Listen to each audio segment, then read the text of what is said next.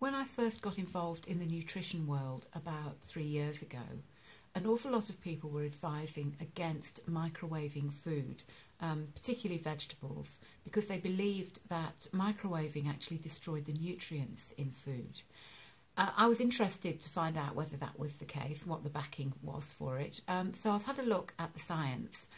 And actually, an awful lot of those negative comments about microwaves came from the results of one scientific study where I think about 97% of the nutrients in a piece of broccoli um, left that broccoli um, during microwaving, which was even worse than boiling. Um, but the, the, authors of that study themselves admitted that they put an awful lot more water in the microwave than, with that broccoli than you would normally do. And what had happened was because it all got very hot, the nutrients leached out into the water in exactly the same way they would if you overboiled a, a vegetable.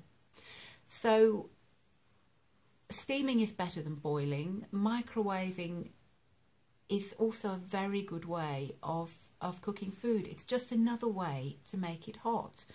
Um, you can microwave infant formula quite safely from everything that I've read. Microwaving human milk um, is a different story because it can, can destroy some of the um, antibacterial agents in the milk. But with very few exceptions, microwaving your food seems to be completely safe.